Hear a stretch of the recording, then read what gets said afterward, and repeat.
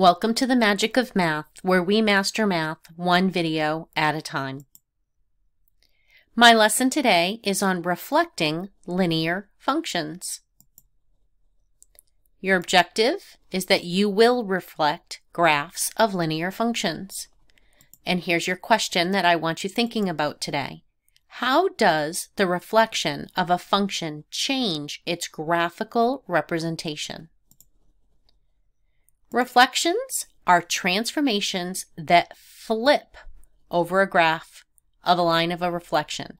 So flips a graph over a line of reflection. Reflections in the x-axis, so here's my line of reflection. You multiply the outputs by negative 1, changing their signs.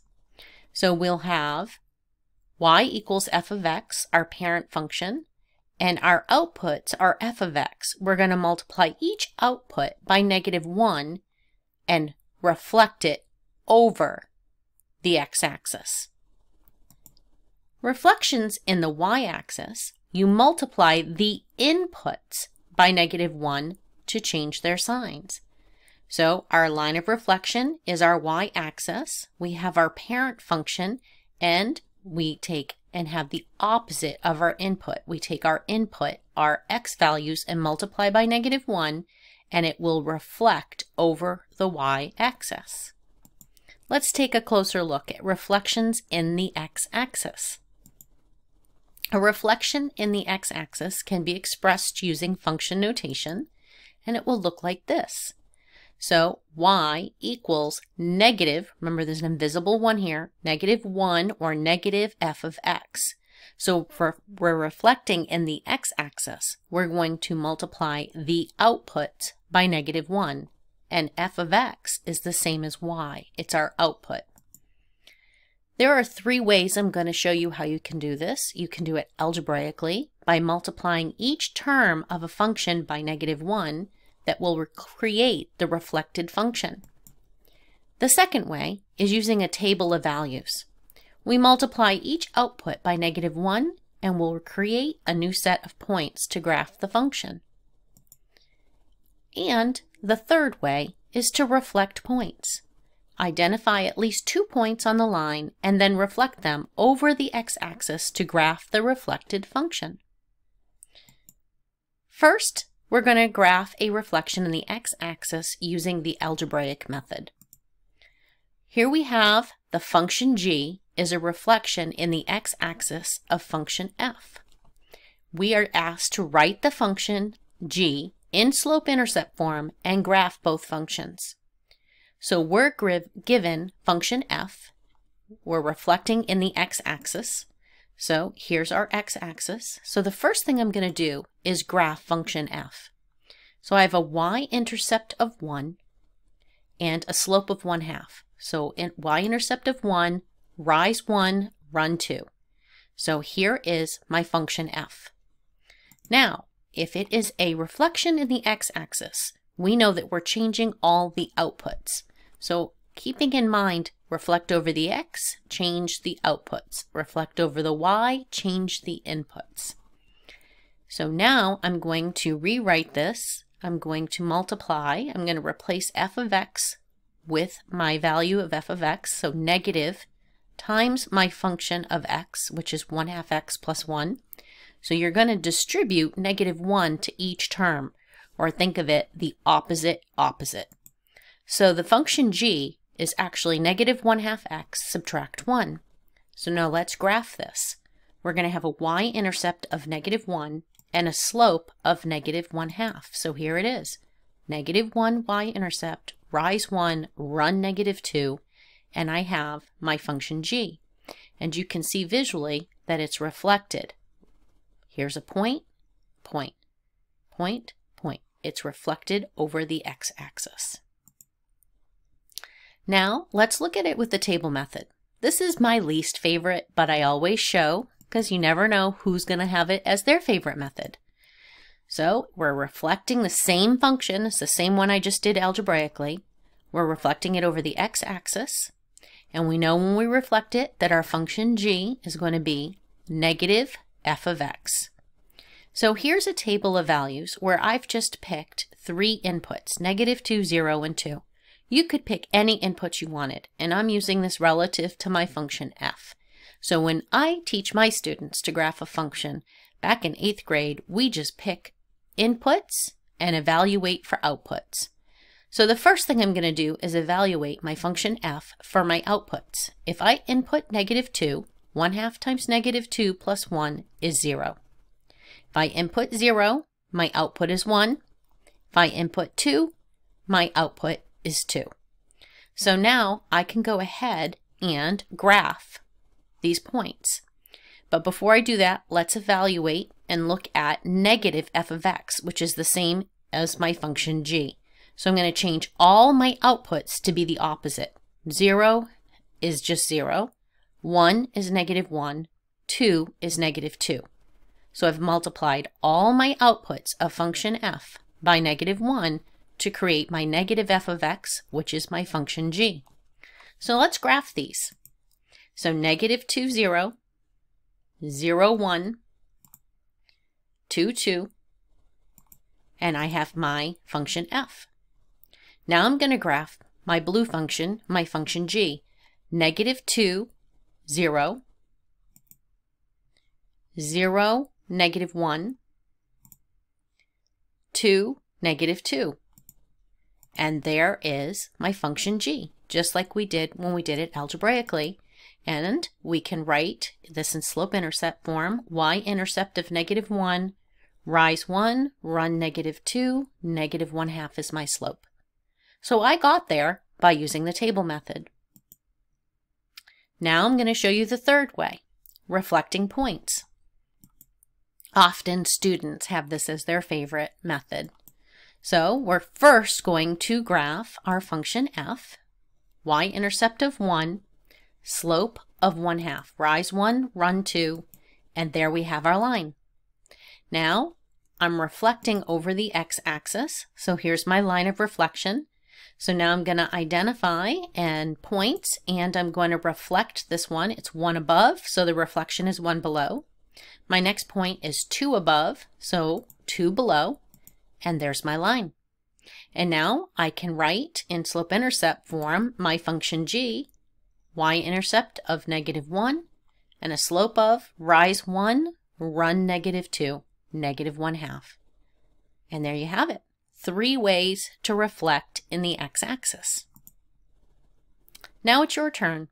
I would like you to reflect function f in the x-axis. I would like you to write the reflection of function g in slope-intercept form and graph both functions, function f and your new function g that you've reflected in the x-axis. Go ahead and pause now. Come back when you're done. Welcome back. Let's review the solution. So the first thing I'm going to do is identify that I'm reflecting in the x-axis. So this is my line of reflection.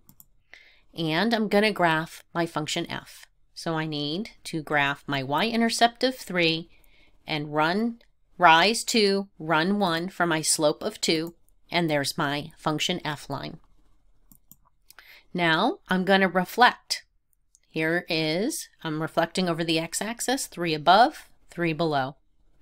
5 above, 5 below. I've reflected two points, and now I have my function g, and I can write that in slope-intercept form, but before, let's do it algebraically to check our work.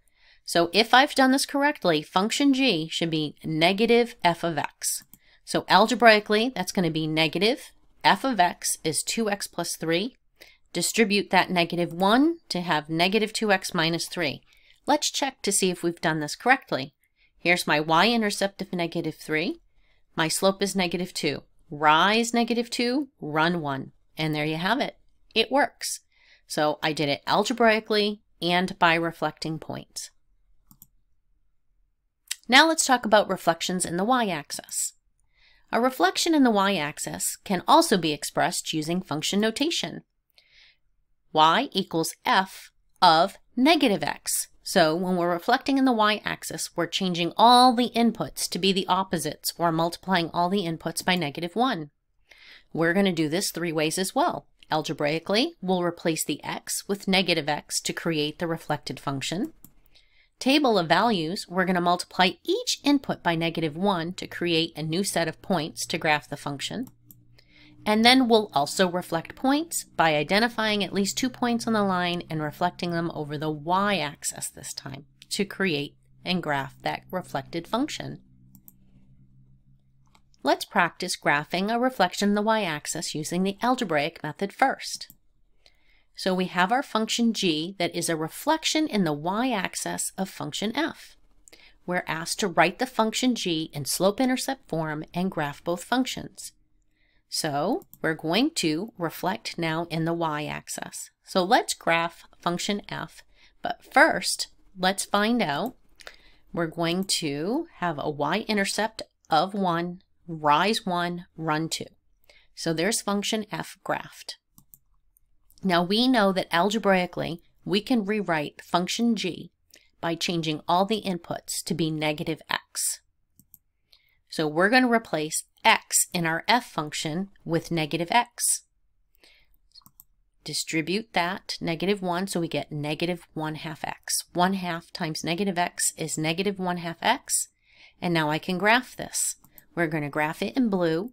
I have a y-intercept of 1, run, rise 1, run negative 2, and there is my function g. Now we're going to reflect in the y-axis using the table method. Here is my same function f, and we're going to look at our table of values. So I have picked negative 2, 0, and 2, and my outputs are, when I input negative 2, I get 0. Input 0, I get 1 input 2, I get 2. That's my red function, my function f. Now, for the g function, the reflection in the y-axis, I'm going to change all my inputs. So negative 2 becomes positive 2, 0 stays 0, and 2 is the opposite negative 2, noting that my outputs stay the same. So let's graph these. I'm going to graph negative 2, 0, 0, 1, 2, 2, and then I have 2, 0, 0, 1, and negative 2, 2. And there is my g function. That's using a table. I have a y-intercept of 1 and a slope of negative 1 half. Now let's look at it by reflecting points. So I still have my same function f. Going to graph it in red, y-intercept of 1, rise 1, run 2. And now I'm going to reflect over the y-axis. So here is one point I've selected. That is 2 on the other side of y, reflect it over, 2 away. Pick another point on the function f, negative 2, 0. It's 2 away, 2 more away, and graph your line. So we can see that our function g has a y-intercept of 1, rise 1, run negative 2 for a slope of negative 1 half. So there are your three ways to graph a reflection in the y-axis. So now it's your turn. I would like you to reflect function f in the y-axis, writing the reflection function g in slope-intercept form and graph both functions. Please pause the video now and come back when you're done. Welcome back. Let's go ahead and reflect function f. So we are reflecting in the y-axis. So here's my line of reflection. Let's graph function f in red. We have a y-intercept of 3 and a slope of 2. Rise 2, run 1. Now I've identified a point and it is 1 away from that line of reflection, the y-axis. So I'm going to reflect it over and there is my point. Identify a second point that is also one away. We're going to reflect it over so it's one away on the opposite side. And there's my line. So now I can write my function g, which we're going to check this algebraically. So g of x is going to be equal to f of negative x. So I'm going to change my input to negative x. So I'm going to replace this x with negative x. Simplify that. 2 times negative x is negative 2x. Now let's check this to make sure it worked as the same as reflecting our points did. So we should have a y-intercept of 3 Here it is. And I'm going to rise to and run negative 1 for a slope of negative 2. It checked out. So two ways to do it, algebraically and reflecting points. All right, now let's do some practice. I want you to use the graphs below of f and g, functions f and g, to describe the transformation from the graph of f to the graph of g. Go ahead and pause now and come back when you need to check your work. Welcome back. Let's see how you did. So when I'm looking at G, it's changing our inputs so we can see that it's reflecting over the y-axis because we've changed all of our inputs. So the graph of G is a reflection in the y-axis of the graph of F. Here's another one for you to try. I want you to describe the transformation of the function f to the function h.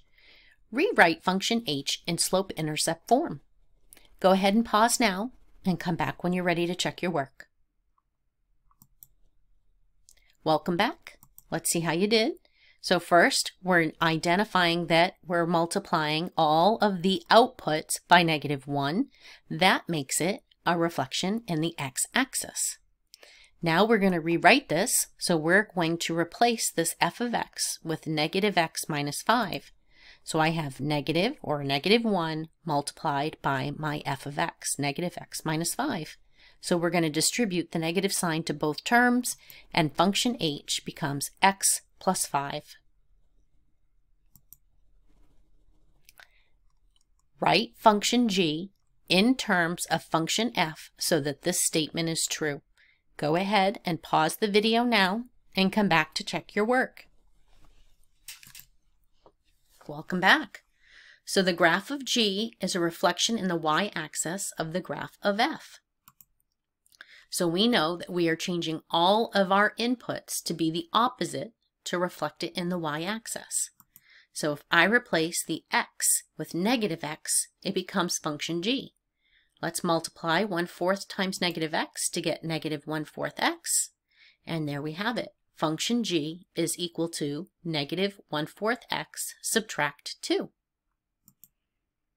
And there you have it. That's how we reflect linear functions in the x and y axis. Thank you for joining me today at The Magic of Math, where we master math one video at a time. I hope you'll subscribe and sign up for notifications for future videos and come back soon to learn how to stretch and shrink a linear function. Thanks for joining me today. Have a great day.